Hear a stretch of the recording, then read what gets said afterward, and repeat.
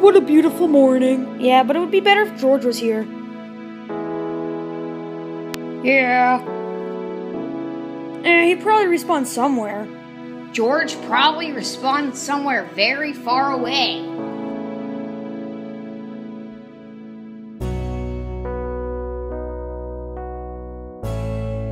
We're extremely close. Follow me.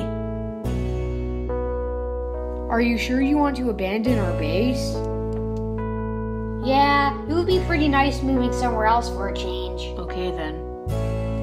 So, Wes, how do you know about all these things that I don't know about? It's a long story. hey guys, George is back. Come on. Green guy! It's nice to see you again, Angle. Wait, how did you even get here again? George, who are those two? Josh. Kayla. They're joining our village.